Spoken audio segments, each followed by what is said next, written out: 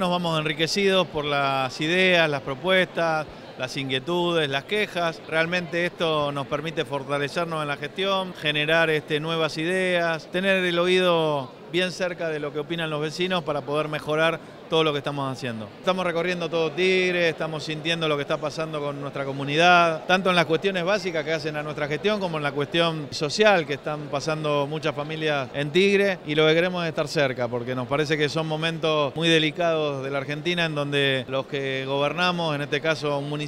tenemos que estar bien cerca de los vecinos para poderle darle la respuesta, la mano tendida para ayudar en lo que podamos ayudar. Estamos con todos los miembros del gabinete, o casi todos, si no está el secretario, está el subsecretario o está algún otro miembro del área, dándole un final a lo que nos plantean los vecinos. Me pareció una reunión muy positiva, fueron muy claros los reclamos y él dio la respuesta que me pareció coherente porque explicó que provincia tiene una responsabilidad y el municipio tiene otra. La reunión fue buena, le pudimos plantear a uno su problema, nos dio respuestas, dio la cara, creo que fue buena. Celebro esta reunión porque esperaba otra cosa, la verdad que me sorprendió. Esto es muy importante porque se ve que hay una unión de todos los vecinos, nosotros necesitamos cosas muy puntuales que se están haciendo